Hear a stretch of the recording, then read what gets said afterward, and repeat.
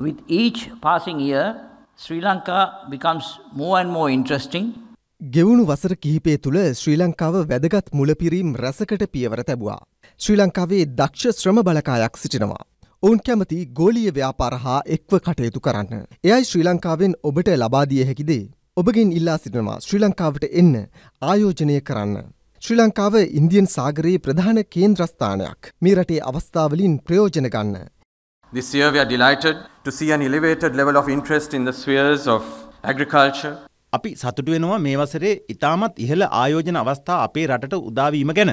කෘෂිකාර්මික බලශක්ති යටිතල පහසුකම් දැනුම බෙදාහැරීමේ අවස්ථා යන ශේෂත්‍ර වගේම සංචාර්ක ශේත්‍රයත් ඊට ඇතුළත්.